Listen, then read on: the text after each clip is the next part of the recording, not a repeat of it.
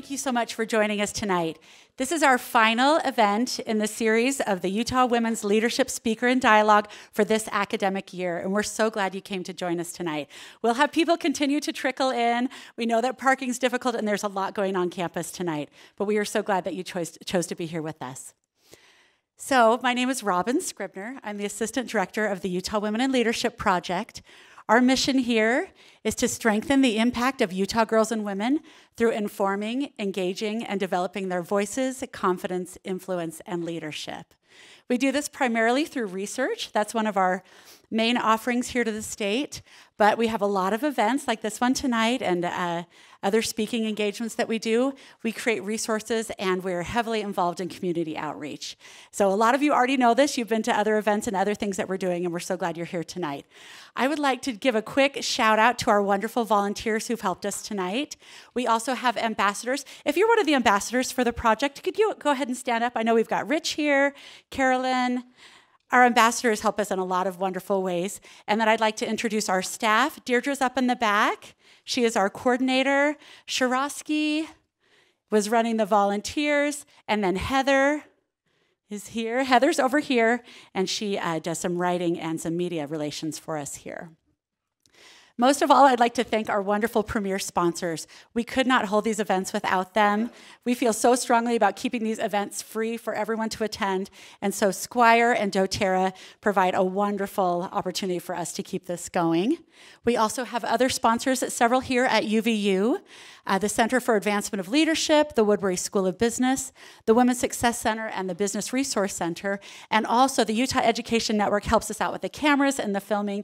And I hope you all know that these events are edited and then available to watch later on. So if you've got friends that didn't make it, they can come watch them later. And we have social media. So if you don't already follow us on Facebook or Twitter or LinkedIn, please find us tweet about our events, share this information on our social media sites. You'll also find um, our research, things that we share, but events and other resources from other great organizations within the state that are also serving women and girls. So, some great resources there. So, uh, many of you probably also already know Dr. Susan Madsen, but I'm just going to give you a quick little introduction to her. She's going to start us off this evening, and then she'll be followed by our panelists. But Dr. Susan Madsen is the Orin R. Woodbury Professor of Leadership and Ethics here at UVU.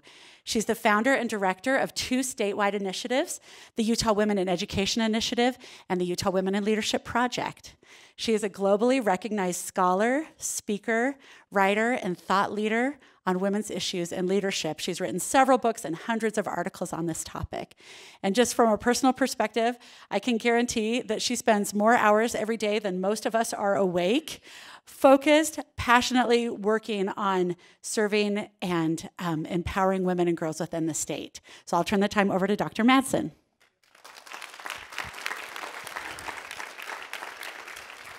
It's great to be with you here. And I uh, just got back from the Middle East a couple days ago, so I'm out of the haze. But uh, I was just telling the folks here on the front row that I'm not multitasking well but uh, enjoyed working with women over there in the Middle East. So I'm excited for this event. I've been looking forward to this event, and we'll have more people trickle in because we, ha we had about a thousand people signed up for tonight. But it is a busy week on campus because President um, Tuminez has her inauguration tomorrow. And so um, it is a busy week all week. Now, look at this picture over here. I'm going to get teary eyed. I, put, I just put that up. It was taken on Saturday, and that is my daughter, Stacy, and her new daughter, Hadley. And um, isn't that a beautiful picture? You've got to say it's a beautiful picture. okay. What are you going to say when I ask you that? Um, so I love this, and I love this talk, this uh, topic of raising girls to become leaders, competence, confidence, and courage. And when we look at the word raising, we really, we, we didn't necessarily say daughters, we said girls. And that is because, have you heard the saying, it takes a village? And so, who helps besides parents raise girls? Grandparents, educators, church leaders, Girl Scout leaders. I mean, anybody helps, I mean, anybody can help raise girls. So that's what we wanted to, to do tonight. I'm going to just have about a half hour going, to, I'm going to give you some research from research that I've done and some other research as well. Other scholars have done research. And then we're going to have this great panel that'll dig in deeper to some of these issues. So I'm going to dive right in. So, with my research, actually, I, I, am kind of in an awkward space because the things are over there and over there. So I'm going to have to turn my head to see which slide we're on. Um, but I have done research for years on looking at the lifetime journeys of high profile women leaders and how they develop leadership throughout their lives from the time they were babies in their homes, elementary school, uh, high school, college, their careers, and so forth. My passion through the years has really been this second one to better understand how we can help raise girls to be leaders, teenagers, you know, really develop that confidence and competence to be leaders. And I looked at parenting and home and at activities and influential people and a lot of different kinds of things. And also, um, in this presentation, we're going to answer many questions. One question I wanted to throw up here very quickly is Do you think your siblings can influence your leadership development as you think back at your home life? So I thought I would show you a picture of my siblings. Some of you have seen this before if you've heard me speak.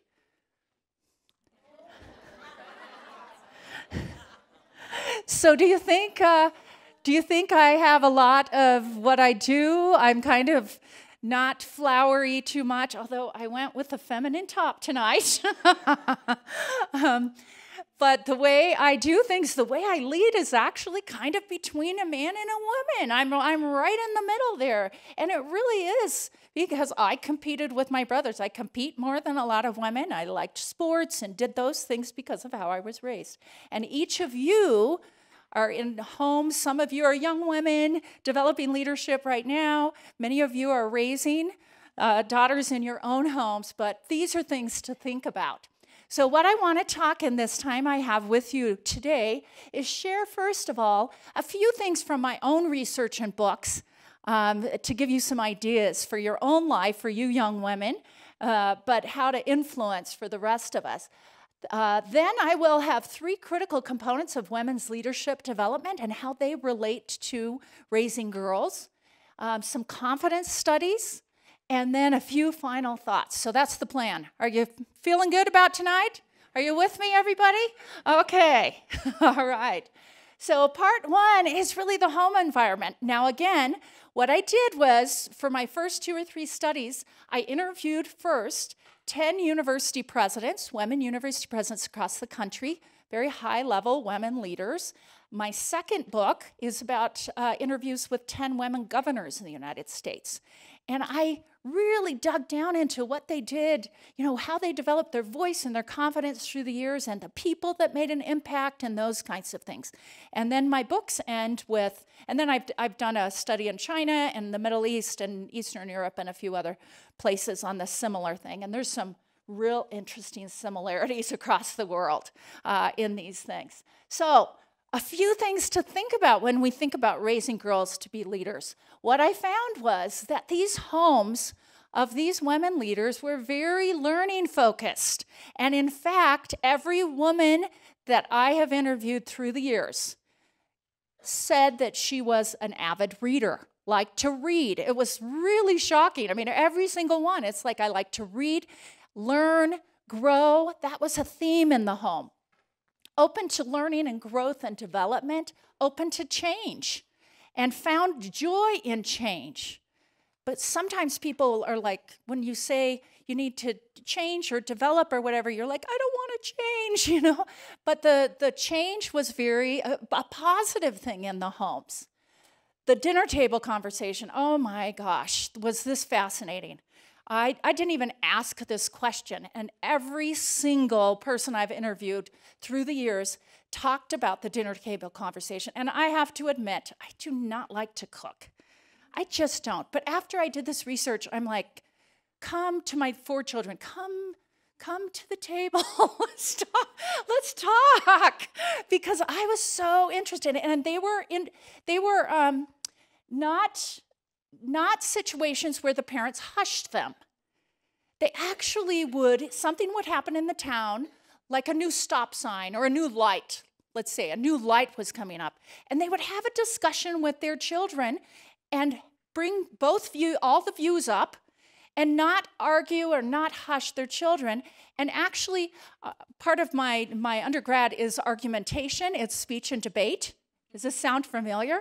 And so we argue different points and we become okay with that. Interestingly, when I moved back to Utah and started teaching about, um, oh, it's been 16, 17, 18 years ago, I, I remember teaching an MBA class early on, and some of my students said, There's too much arguing in, in here. They just wanted me to like give the stuff and have them accept it instead of kind of going back and forth. You don't have to get all emotional and go back and forth, but that argumentation, er, the homes had that. And the dinner table was where the women said they found their voices. Isn't that interesting? I mean, I like I said, many of us don't not many of us. I don't like to cook. Maybe the rest of you do. But there's still, you can do a lot of things at the dinner table. I assemble, is what I call it. I assemble things. so, um, they discussed finances and other difficult topics openly. And we are, in fact, I'm, if you're on my list serve, you'll get this note, but, but I'm on a committee for a finance conference, Women in the Money Conference on the 22nd of, of April, really talking about talking to your kids about money and different things like that. Those difficult topics were important. Service oriented parents.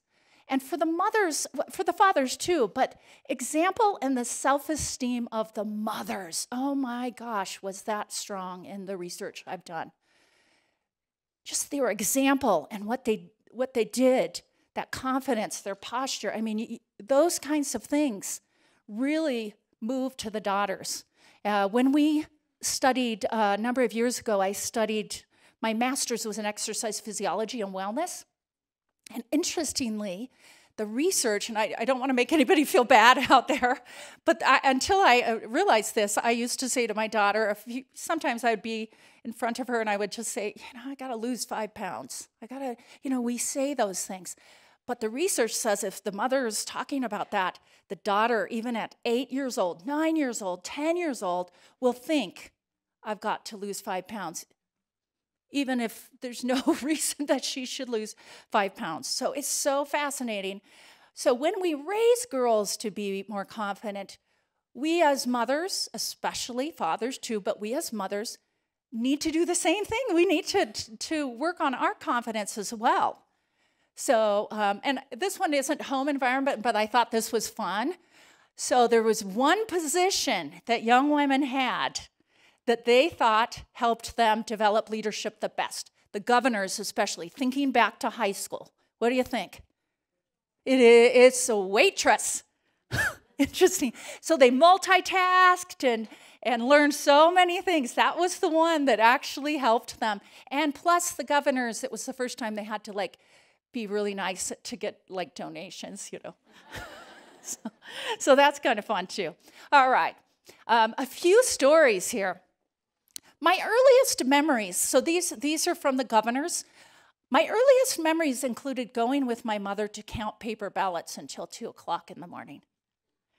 I got a lot of my interest in politics and current events from my father. We talked about it at the dinner table. We were able to voice our opinions at the dinner table where everyone's voice was important. He'd watch the news every night with only one TV in the house. This was a while ago. um, everyone was around to hear the news.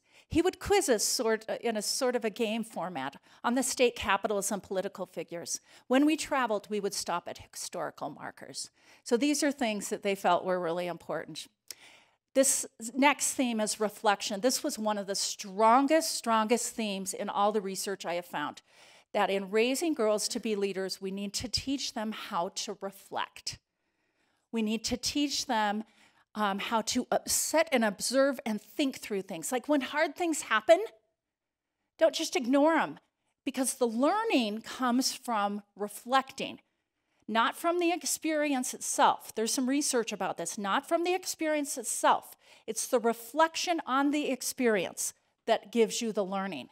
And so when hard things happen, you know, instead of patting, so sorry, sorry, teach them, like, what did you learn? You know, some of those things. It's the reflection that's important. And this transformational learning has you mentally construct the experience, then you reflect, and then you have action. And then I also found that transformational moments were critical.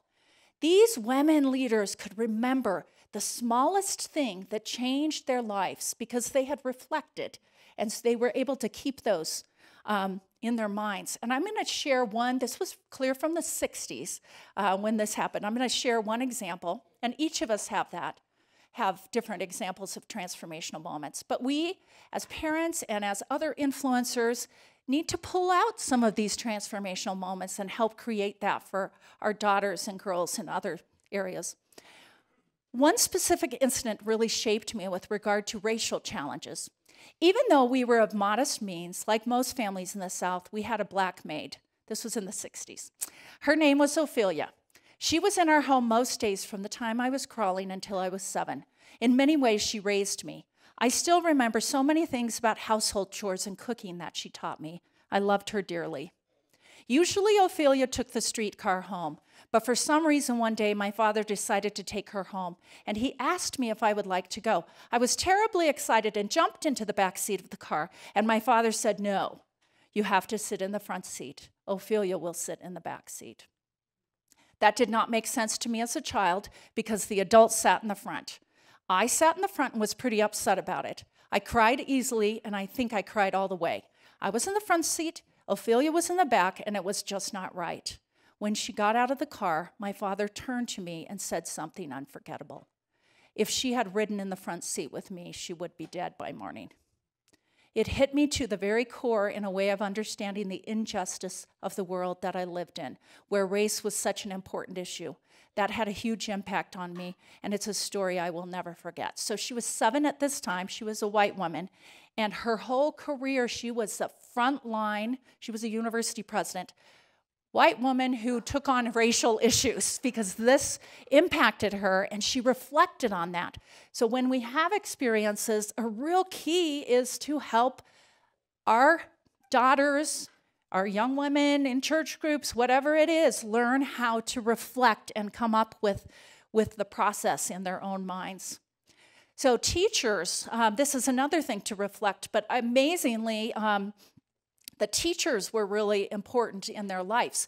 Now, if you know the self esteem research, typically around 10 to 13, and some research is saying a little bit even earlier, boys and girls have about the same level of confidence until about that age. And then girls go down, puberty kind of starts hitting, and, and boys go up. And then girls are always kind of struggling with that. But interestingly, during this time, there was a fifth or sixth grade teacher for every single woman I've interviewed, no matter what country in the world, that made a big impact. My sixth grade teacher was a woman who was passionate about education. She conveyed her own personal joy and passion in the way she taught us. In some ways, I think these times make up moments for me in what we now call the life of the mind. This includes being able to gain shared joy out of thinking, reading, and learning. I saw that in her and I felt it in myself. The sheer joy that she felt was the joy that she ignited in me. And I don't think I ever had the chance to tell her that. I was much older before I realized it. It makes me want to be sure that teachers know of their potential impact. It's amazing how many teachers were impact. And it wasn't the easy teachers. It wasn't. It was the teachers that looked at you, knew you could do something. Sorry, I'm picking on you, and um, and then pushed you. And, and it, it's very interesting to look at the kinds of teachers. And then reflecting on that helps as well. Now, what subject of teacher in high school do you think was the most impactful for all these women? There was one that stuck out huge English, and math was actually second. My high school English teacher was an amazingly challenging teacher who really pulled out things that I think most of us never thought. We had lots of writing assignments, lots of challenges around things like vocabulary development. She wrote the most provocative thing in my yearbook No lesser lights for you. It has stayed with me forever. She was really challenging me to be all I could be. She was very important in my life. Of course, parents are the most impactful, but I'm amazed at the research how important other people are, including church leaders, especially here in Utah, and the research that we've done in Utah. And teachers can be, and counselors can be, but neighbors can be too. Neighbors. In fact, when I realized this, I um, my kids would come home, and I remember my youngest com- kid coming home one day, and he's he my office is right by the garage door, and the garage door opens, and I heard him say to his friend, Go really quiet and fast past my mom's office because she'll ask you about college. so I'm like, Where are you? Where are you going to go to college? What's going on? so I, I, didn't realize, you know, we kind of think about getting our own kids to, to college and everything. But, but and, and many of you young women, the powerfulness of peer, peer encouragement is so important to get women to college. We've done research on that and all kinds of other things too. I love, I think this is the last story, but I love this story. And what we found in my, in what I found actually in my research was that the parents were the most Im- influential, but every woman had at least two other people during their like high school, junior high days that they said made a big impact on them. So, parents and then at least two others. Now, this is one example.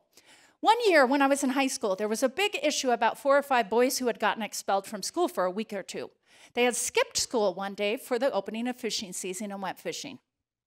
I spoke to a teacher and said, This doesn't make any sense. She asked me if I would talk to the principal about it, so she walked me down to his office. I said, Mr. Smith, this doesn't make any sense. These boys are in trouble for skipping a day of school, and now you have them out of school for 10 days. Now they're fishing for 10 days straight. There's nothing sensible about that. Why don't you stop the suspension and bring them in and make them do long study halls to make up for what they missed? You've given them exactly what they wanted more time to fish. he said, It's really the only form of punishment we have for skipping school. I said, But there are other forms. It doesn't have to be this way. He listened to me. These adults seemed to value my opinion. I ended up working in the principal's office during my junior and senior years of high school. Isn't that an interesting story? But the but you know we're raising our own daughters and so forth. But the the impact of this, especially during those high school, that you have something to offer, that you have a voice, and people see that, that helps you get confidence and that helps your daughters get confidence so that, and this is a leadership, a form of leadership. Um, and, and I have a real broad definition of leadership. And then from my research, embracing difficulties and challenges. Some of the terms challenges, struggles, trials, we use that word a lot in our culture trials. Like, woe is me. Challenges, I like the word challenges, it's more active. Um, be a role model and, on how to respond to challenges. That uh, actually, the, my women that I interviewed said they learned more about leadership from the difficulties and challenges than anything, any other successes. Think about that. So sometimes, as parents and as influencers, we try and protect our daughters from failure or challenges actually that's what gets that grit. That's what so and then we teach them to reflect. So you go through something that sucks right? That's sorry crap and sucks are my two swear words. Um, we do that but then we learn how to process and then come out and learn. My daughter was funny one time I, I was picking her up when i used to have a minivan from something and she had something real tough happen and and i just went mm-hmm and then by the time I knew I had done what was right, by the time like 10 minutes or 15 minutes later, she had talked her way all the way through and then came out and said, Okay, I'm good. I'm like, Okay, that's good. She's got all the learning right out of that. Um, and then learning from everything, learning to learn uh, specifically leadership from everything. Um, I don't have time to kind of go into lots of details here, but I will tell you that there are strategies, and maybe this is another, another lesson on feedback. And I'll tell you, there's, there's ways to give feedback. The general, you're great, you're beautiful, all of that stuff doesn't really help develop confidence, a little bit of self esteem, but very specific kind of feedback that is truly honest. That is truly honest. My daughter Stacy one time came home, and the neighbor next door, she was good friends with them, and um, th- they had a boy her age, and she went to one of his basketball games with his parents. And on the way home, she got home, she stomped in and she was like, They lied to him the whole way home. They told him he did so great and he sucked really bad. and I said, Well, did he do anything good? Well, he hung in there. He like didn't quit. He was just out there. Uh, and, she, and I said, What would be a, an honest thing to say? and that, that, he hung in there. That was about it. Um, but sometimes, you know, even little kids, they get up and give a talk, maybe in church, and everybody, oh, that was wonderful. Maybe it wasn't wonderful. And maybe, maybe they just had courage. And that was about it. So giving the act, is this making sense to you?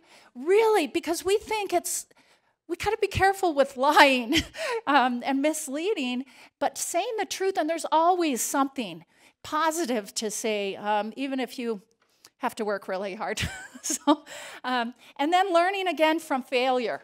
That one is one of the reasons that women don't have as much leadership or confidence ability is because we do not like failure as women. Men get used to it. In elementary school, boys are criticized eight times more than girls in elementary and on all the way up. And we say, poor boys. Well, we as girls, our girls are used to praise. And boys get, are used to being criticized. So 20 years later in the workplace or leading, Boys are like, oh, throw out ideas. Oh, you didn't like it. Well, that's okay. And then girls, what do we do? We're like, oh, oh my gosh, you know, because of some of the socialization. Um, but learning how to fail actually and fail and reflect, the research says actually increases our confidence. And because we're acting, we're doing things. So getting used to like failing here and there. I'm, I'm pretty good at failure. I mean, I, a lot of people see all my successes, but they don't know how many failures I've had along the way. I'm okay. I give myself like five minutes. I'm like, that sucks. Crap. Those are my okay.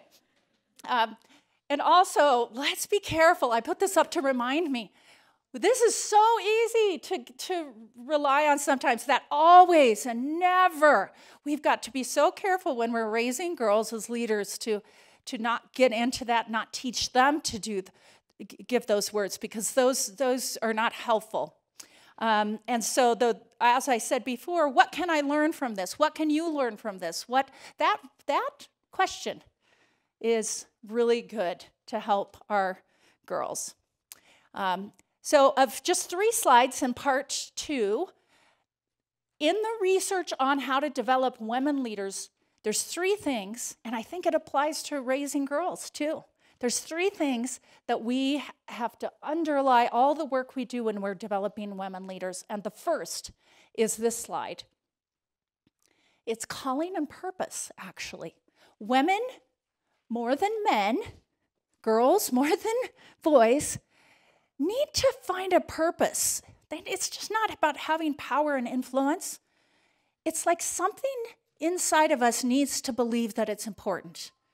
You ran for mayor. You needed to know that it was important. We have to have a purpose. Boys and men, yeah, sure, some, but girls and women. So when we want to raise our girls to lead, we need to help them find that calling or purpose, whatever that is, to make a difference to, to in, in some way. Um, that's important. The second one is leadership identity. Actually, what we know from the research, not just my research, but all the research that's out there on this topic, is that boys and men, boys when they're you know getting raised, see themselves as leaders. And part of that's because they see men leading, right? They see men, men, men. Oh, I can be a leader. And girls tend to, and we're not talking just in Utah, this is around the world, girls tend to not see themselves as leaders. Studies over and over have little kids and then teenagers draw a leader. They say, draw a leader. 75%, this is globally, will draw a man because that's what they see. So girls don't see themselves as leaders. Helping them see other women leaders, think about leaders, hearing the word leader.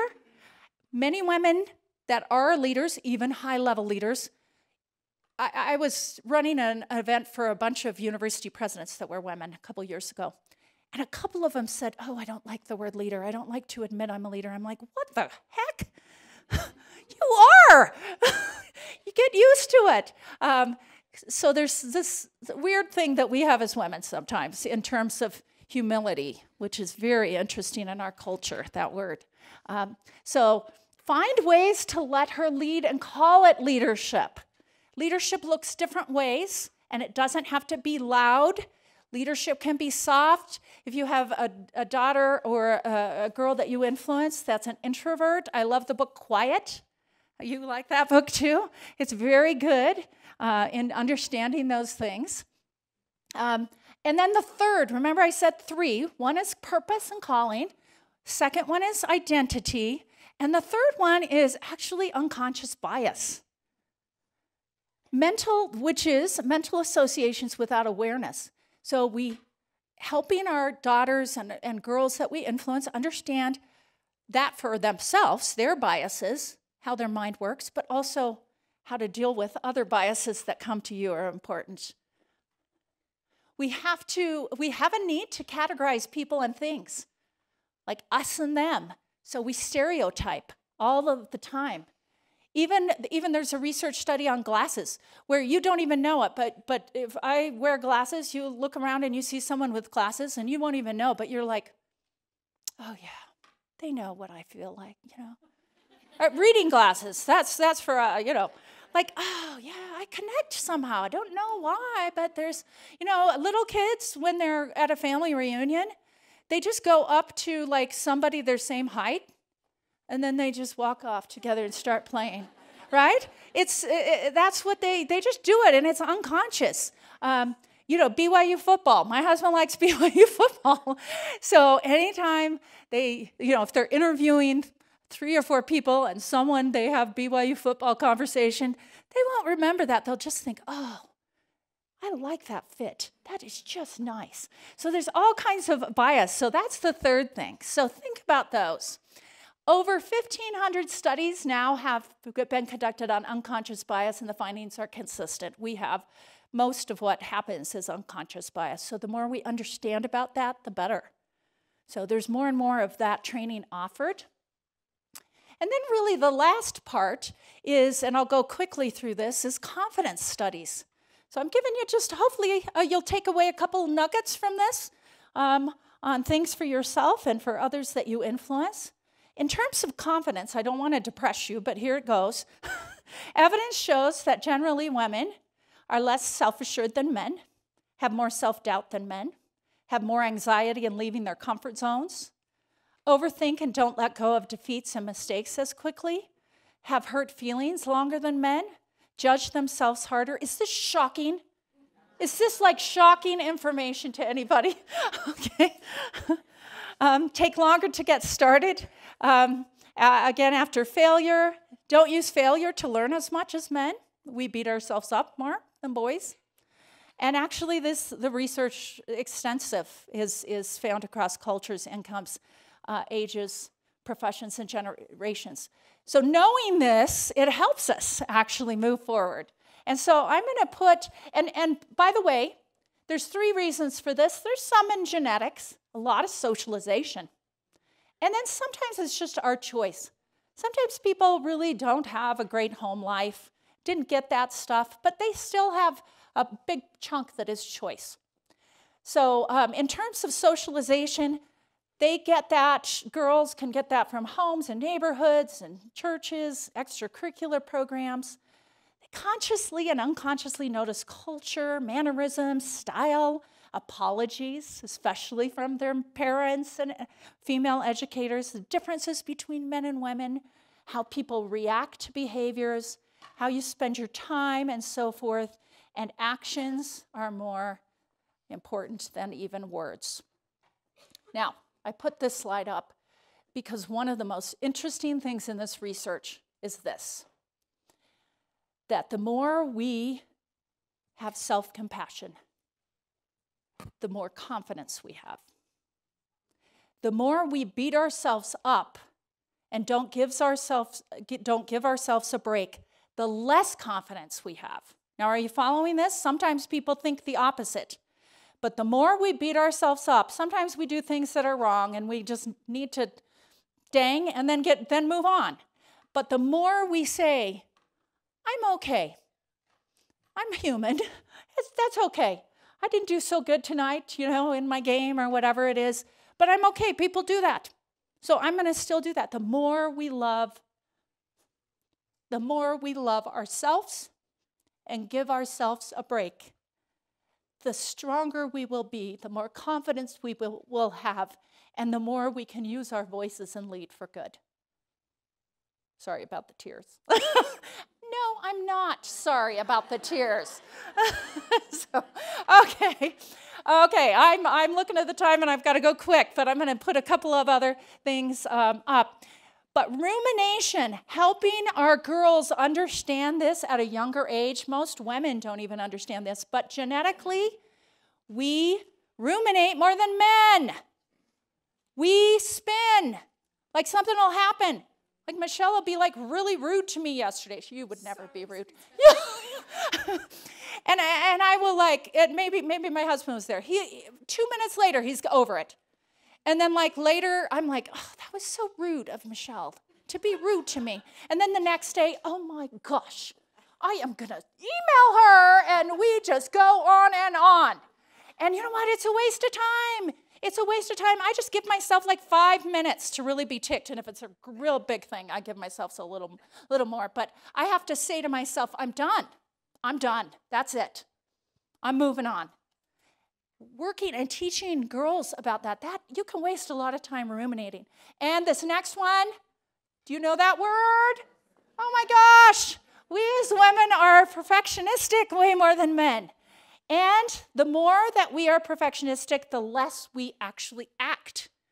And confidence comes with acting. So, man, we could get in deep. Maybe, well, let's talk about that on the panel. Let me move, move through. Um, taking risks. Girls do that less than men. Um, and there's many things. A risk can, can be showing up at an event if you're an introvert and talking to two people. That could be a risk. Um, but we need to be okay with failure and, and really give opportunities not crazy stuff. Oh, I shouldn't have put that picture up there. that was not a good picture. totally. I'm going to skip through a couple of them. Oh, this, this is just a little one that we can actually work on ourselves as parents, but also we can, can start helping our daughters and, and other girls with this. We have a habit to apologize, just like I did about my tears. I just have one point to make the just word. I really don't know whether this is accurate, but I don't know a lot, but I would like to say something. No big deal if you don't, but I would like a raise. you probably won't agree, but I do think the event I organized went well.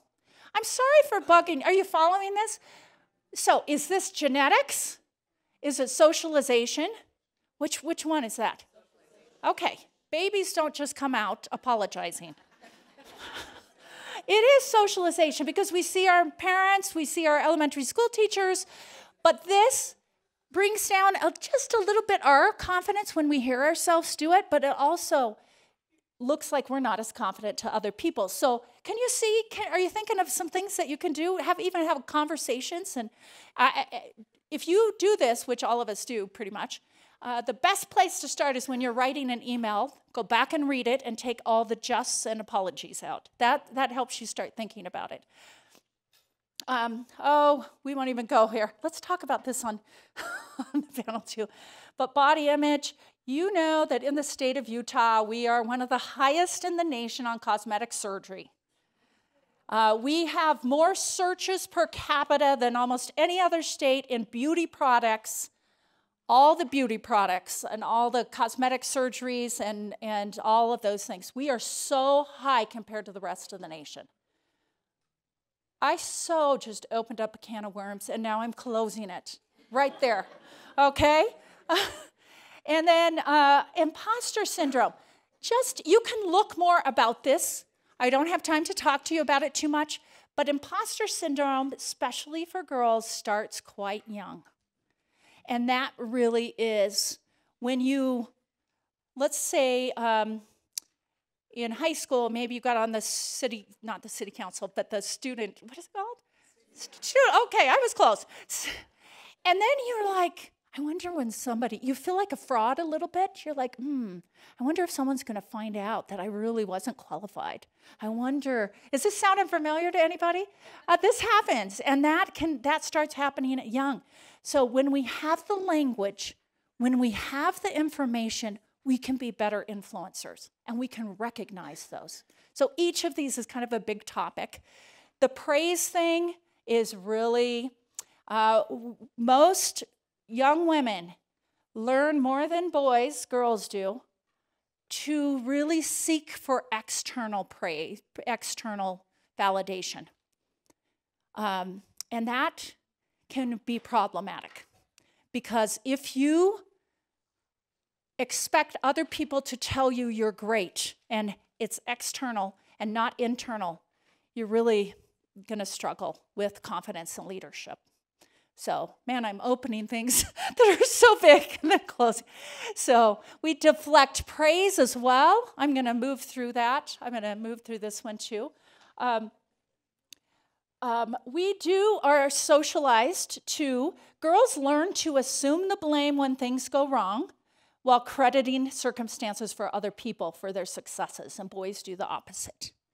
So this starts as young, really young. And there's research on I'm not good enough. That feeling starts when you're young too. And that's global research on I'm not good enough. So it's very fascinating because boys will, will through socialization mostly, if, if like college students after graduation, if they don't get a job very easily, the boys will say what?